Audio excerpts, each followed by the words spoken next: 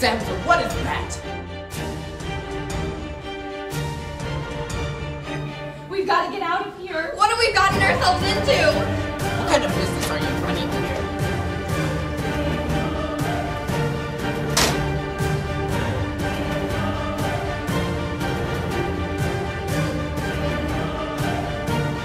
Not much time left.